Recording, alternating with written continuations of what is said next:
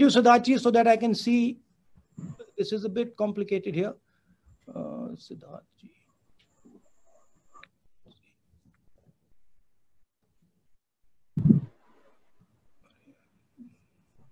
Why isn't the images coming on? Sir, it says Siddharth ANI. He's wearing yeah, a. I'm, because uh, there's a lot of people. Uh, Jeez. where is Siddharth? Okay, Siddharth ANI, I found you. Sir sir sir मेरा सवाल ये है कि आप आपकी party ये कह रही है कि आपने समय रहते कांग्रेस ने और आपको भी इस बात का श्रेय दिया जा रहा है कि आपने समय रहते सरकार को चेता दिया था लेकिन तैयारी नहीं हुई। आज की बात अगर जब आप कह रहे हैं कि एक आप क्रिटिसिज्म के तौर पे नहीं एक सजेशन के तौर पे देख रहे हैं गवर्नमेंट की प्रिपेयर्डनेस को कैसे आप देखते हैं in regard fighting against COVID 19 in regard with the economic condition अभी जो है और आगे आने वाले इकोनॉमिक चैलेंज जो हैं उनके लिए सरकार की तैयारी को कैसे देखते हैं आप? आप खुद एक एमपी हैं आपने एमपी लेड फंड जो है अ, से काफ़ी वायनाड में जो आपकी आपका लोकसभा क्षेत्र है वहाँ पे चीज़ें पहुंचाई थी। लेकिन अब एमपी लेड को भी फ्रीज कर दिया गया है दो साल तक। तो आप उन इन दोनों बिंदुओं पे आपका मैं सवाल चाहूँगा क्योंकि टेस्टिंग का आप पहले बोल चुके देखिए, कोविड वायरस से लड़ने के लिए मेन जो हमारी फोर्स है, वो स्टेट लेवल और डिस्ट्रिक्ट लेवल पे है। जो केरला में सक्सेस वायनाड में जो सक्सेस हुई है, वो बेसिकली जो डिस्ट्रिक्ट लेवल का, की मशीनरी है, वो इफ़ेक्टिव काम कर रही है। तो मेरा एक सजेशन है कि कोविड के खिलाफ जो लड़ाई हो, वो टॉप डाउन ना हो, वो बॉटम अप हो। और प्राइम मिनिस्टर जो स्टेट्स के चीफ मिनिस्टर्स हैं, जो डिस्ट्रिक्ट्स हैं, उनको एम्पावर करें। प्राइम प्राइम मिनिस्टर का रोल आर्मी को एम्पावर करने का है फोर्सेस को एम्पावर करने का है स्टेट्स को पैसा पहुँचाने का है। जहाँ तक एमपी लाइट की बात है, ठीक है, वो मतलब मेजर मेजर बात नहीं है इस सिचुएशन में। इस सिचुएशन में मेजर बात यह है कि हम मिलकर एक साथ लड़ रहे हैं। हम जो हमारे जो एसेट्स हैं, उनको यूटिलाइज कर रहे हैं। डिस्ट्रिक्ट स्टेट्स जो हमारे एडमिनिस्ट्रेशन है, उनको हम इफेक्टिवली यूटिलाइज कर रहे हैं।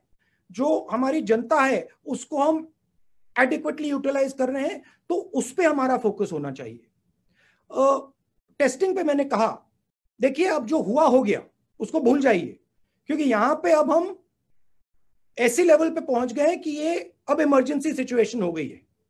तो मुझे ये कहना कि भाई, ये नहीं किया, वो नहीं किया, वो मैं नहीं करना चाहता हूँ। जो किया किया, जो नहीं किया नहीं किया, अब आगे देखते हैं और मिलकर हिंदुस्तान यूनाइट होके इस चीज़ से लड़े। और इससे इससे देश को भी फ़ायदा होगा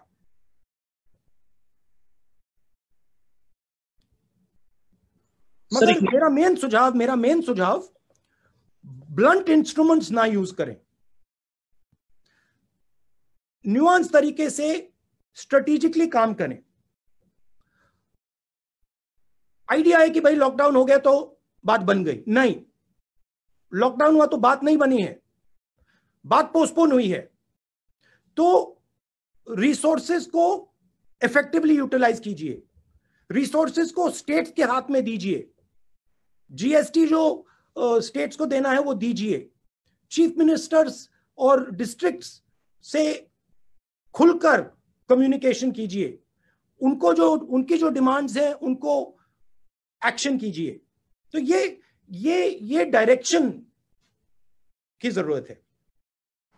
कि जिस प्रकार से पैसा पहुँचना चाहिए जिस स्पीड से पहुँचना चाहिए वो नहीं पहुँच रहा है। मैं आपको दो तीन उदाहरण देता हूँ। कोरोना से लड़ने के लिए आपको दो तीन स्ट्रेटेजिक चीज़ें एकदम करनी पड़ेंगी। दो दो फ्लैंक्स पे एक्शन चल रहा है। एक हेल्थ केयर मेडिकल दूसरा इकोनॉमिक थोड़ी सी मैं इकोनॉमिक स्पेयर की बात करता हूँ। फ़ूड शॉर्टेज आएगी, आने वाली है। आपके पास गोदाम में फ़ूड फ़ूड सप्लाई है, उसको आप दीजिए। एकदम आप गरीब लोगों को फ़ूड सप्लाई देना शुरू कीजिए। बहुत सारे गरीब लोग हैं जिनके पास राशन कार्ड नहीं है। उनको भी इंक्लूड कीजिए। तो फ़ूड का एक सेफ्टी नेट तैयार कीजिए। न्याय योजना डायरेक्ट पैसा 20 परसेंट सबसे गरीब लोगों के बैंक अकाउंट में डालिए। प्रियमटिवली कीजिए। क्योंकि ये ये जो हमारी सबसे गरीब लोग हैं, जो वीकर सेक्शंस हैं, जो मैन्युअल लेबरर्स हैं। इनको प्रॉब्लम आने आएगी आ गई है और आएगी। तो प्रियमटिवली फ़ूड फ़ूड नेट बनाइए। मिनिमम न्याय के, न्याय योजना नाम मत यूज़ कीजिए, कोई और नाम दे दीजिए बट मिनिमम फाइनेंशियल नेट तैयार कीजिए। बेरोजगारी आने वाली है, शुरू हो गई है और ज़बरदस्त तरीके से लोग बेरोजगार होंगे। ठीक है सेंट्रल जो रोज़गार देते हैं कौन है? SME small and medium industry उनके लिए आप एक डिफेंसिव पैकेज तैयार कीजिए। उनको प्रोटेक्ट करने का पैकेज तैयार कीजिए। हमारी ऐसी कंपनीज़ हैं जो कनेक्टेड कंपनीज़ हैं स्ट्रेटेजिक कंपनीज़ हैं। बड़ी कंपनीज़ हो सकती हैं। उनके लिए आप प्रोटेक्शन तैयार कीजिए। तो ये हुई इकोनॉमिक साइड पे। अब डिज़ीज़ साइड पे। डिज़ीज़ साइड पे आप लॉकडाउन के बाद आपकी एग्जिट स्ट्रेटेजी क्या होगी? आपकी टेस्टिंग स्ट्रेटेजी क्या होगी? आपकी मेडिकल स्ट्रेटेजी क्या होगी? आप पीएचसी को हॉस्पिटल्स को रैंप अप कैसे करोगे? क्योंकि आपको वो लॉकडाउन खुलने से पहले करना पड़ेगा। क्योंकि लॉकडाउन के बाद डिज़ीज़ का अपटेक होगा। डिज़ीज़ बढ़ना शुरू हो जाएगी। तो आपको अग्रेसिवली उसको काउंटर एक्ट करना पड़ेगा। तो मैं कह रहा हूँ कि ये डिलेड एक्शन नहीं होना चाहिए। ये इमीडिएट एक्शन होना चाहिए। मुझे काफ़ी दुख हो रहा है कि आज तक जो फ़ूड सप्लाई हमारा गोदाम में है, वो लोगों के हाथ में नहीं पहुँचा है।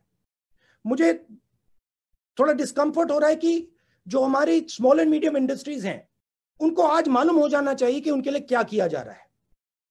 क्योंकि ये अब अब नेशनल इशू है सिक्योरिटी इशू है।